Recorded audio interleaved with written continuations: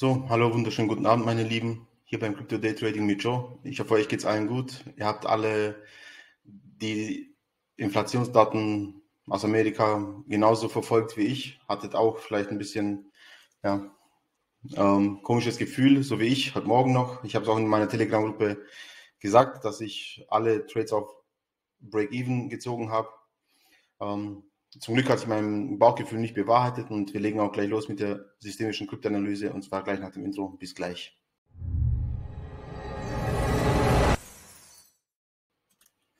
So, da sind wir wieder. Ich muss schnell machen. Etwas spät dran. Ähm, ja, also wir hatten heute bei Bitcoin, haben wir diesen Pump erlebt. Dieser Pump hat hier diese interne schwarze Sequenz, wo wir hier seit zwei Tagen, drei Tagen traden, ja, perfekt abgearbeitet, ins schwarze Ziellevel beziehungsweise in die schwarze Box reingetragen und da erstmal wieder rausreagiert nach unten. Perfekt gelaufen, würde ich sagen. Und Glückwunsch an alle, die mitgemacht haben, diesen Trade, unter anderem diesen Trade. Ja, was erwarte ich jetzt von Bitcoin? Ähm, jetzt erstmal natürlich besteht hier Erholungspotenzial, dass wir hier wieder runtergehen. Ähm, entweder gehen wir in das Gesamtkorrekturlevel von dieser schwarzen internen Sequenz. Das wäre bei 17.300 bis 17.100 US-Dollar ungefähr.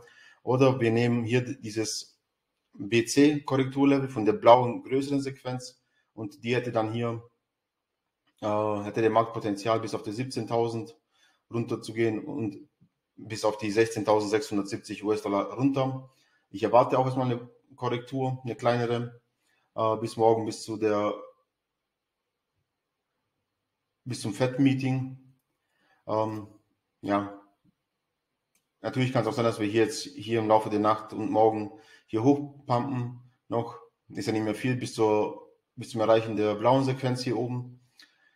Ich sehe hier Potenzial, also auf jeden Fall, dass wir hier die, diese blaue Sequenz finishen, weil wir haben jetzt hier alle Hochs rausgenommen, wo wir uns schon wochenlang hier gequält haben.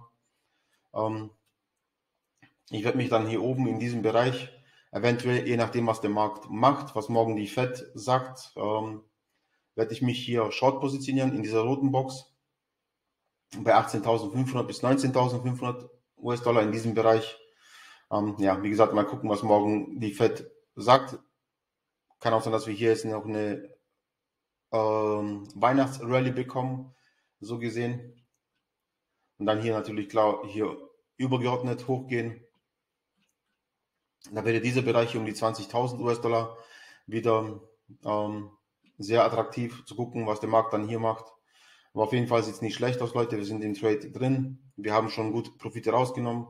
Ich werde meinen Trade hier bei 18.200 US-Dollar nicht komplett schließen. Ich werde noch ein bisschen was drin lassen, falls der Markt hier überschießen sollte und uns über die 19.500 tragen sollte morgen oder die nächsten Tage, je nachdem, wie es aussieht.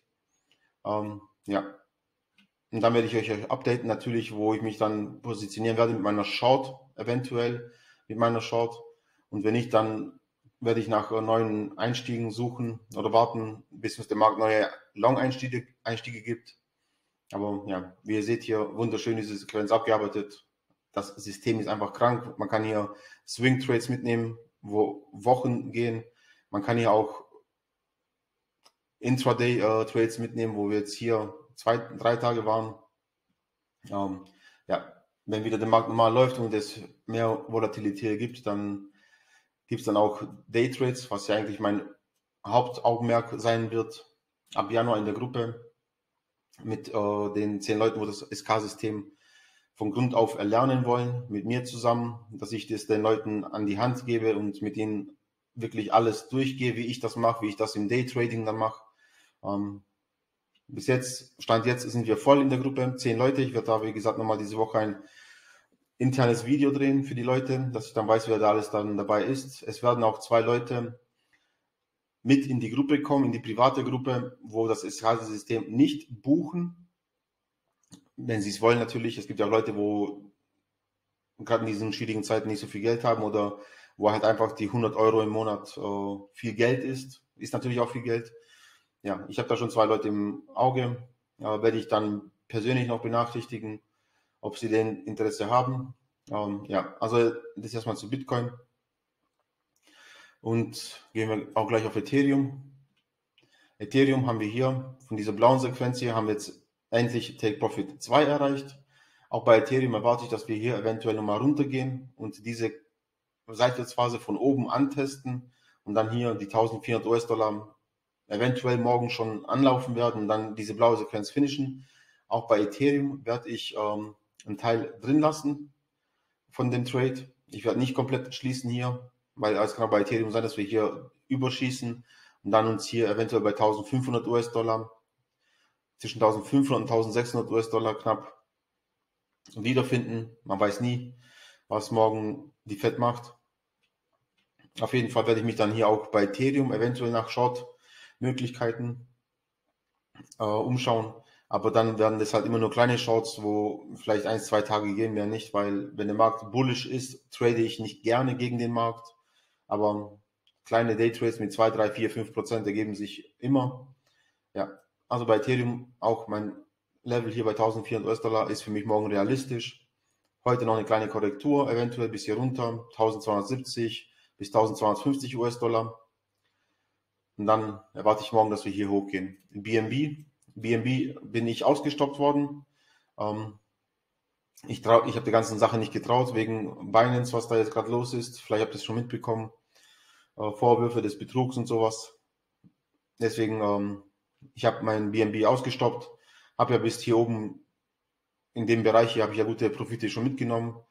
Ähm, insgesamt war es ein erfolgreicher Trade, auch wenn ich jetzt zum Schluss mit Minus schließen musste, aber ja, wie gesagt, bei weitem nicht so viel, wie ich hier Profite gefahren habe. Ähm, ja, nichtsdestotrotz sind wir auch hier bei, Bit, äh, bei BNB immer noch in dieser blauen großen Box hier. Wir haben hier kein neues Low generiert, trotz des ganzen Fats um Binance.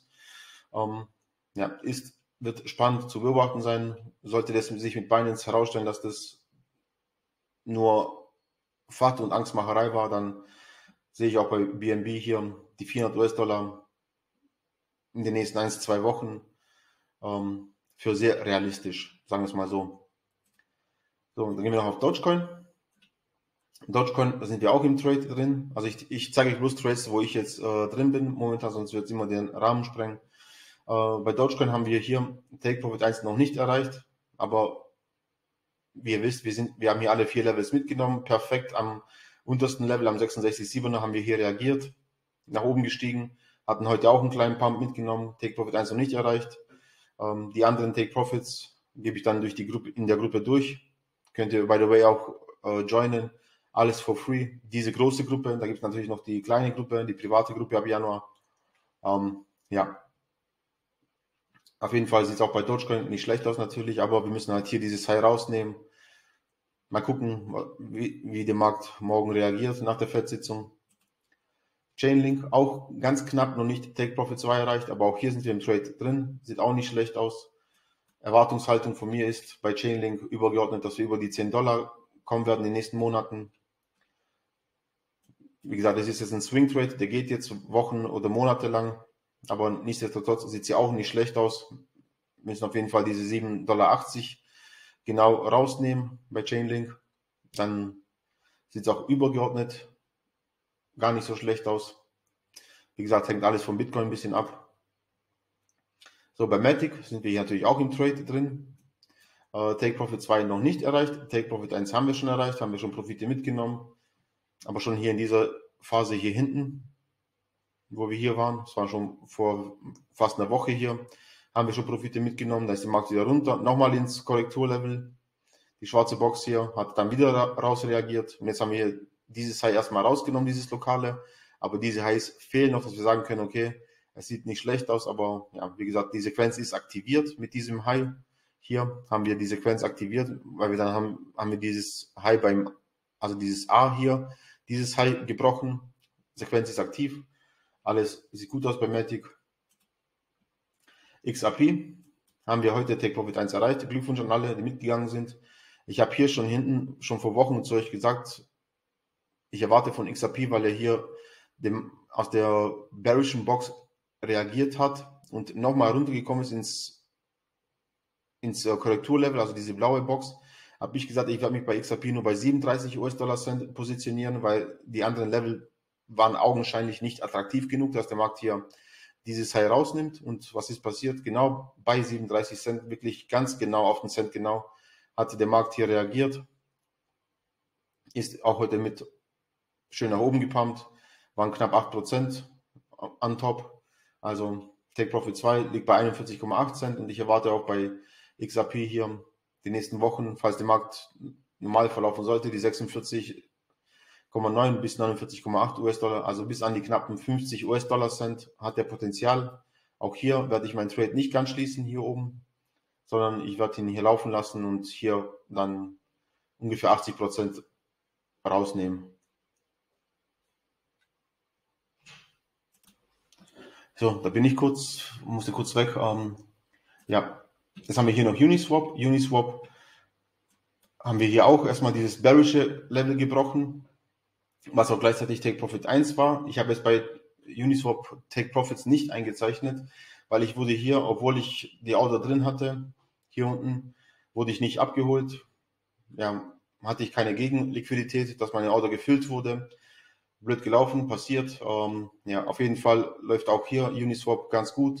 Äh, haben hier am 50er Level reagiert, sind nach oben gestiegen jetzt.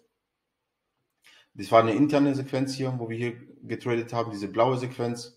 Ähm, übergeordnet bei Uniswap, Ziellevel liegen hier oben bei 7,85 US-Dollar. Also haben wir auch noch ein bisschen was zu gehen, aber sieht auch nicht schlecht aus. Aber um diese schwarze Sequenz zu bestätigen, müssen wir halt dieses High herausnehmen. So, liebe Leute, ich würde sagen, das war's dann auch für heute. Kurzes, knackiges Update. Es wird morgen ein Update geben. Morgen Vormittag höchstwahrscheinlich. Und dann eventuell morgen Abend nach der FED-Sitzung nochmal eins. Wenn es aber zu spät wird, äh, dann ähm, auf jeden Fall Donnerstag Vormittag werden wir nochmal besprechen, gucken, wie dann der weitere Fahrplan aussieht für die nächsten Tage, fürs Wochenende dann. Und ja, in dem Sinn würde ich sagen, wenn euch dieser Content gefällt, wenn euch dieser Mehrwert gefällt, lasst auch ein bisschen Mehrwert da. Tut nicht weh, kostet keine Zeit. Äh, ein Abo, ein Like. Ähm, dann werden wir den nächsten Bullenmarkt zusammen rocken. Das werdet ihr nicht glauben, was da mit diesem SK-System alles möglich ist. Und ihr seht ja, solche Einstiegslevel kriegt ihr sonst mit keinem System oder mit keinem Chart und äh, Support und Resistance Trader hin. Garantiere ich euch. Also Leute, bis dann. Ich würde sagen, genießt den schönen Abend. Äh, schaut nachher vielleicht noch ein bisschen Fußball. Ich werde es auf jeden Fall tun. Ähm, ja, und in dem Sinn, wir sehen uns spätestens morgen. Euer Job von Day Trading Germany. Macht es gut. Ciao, ciao.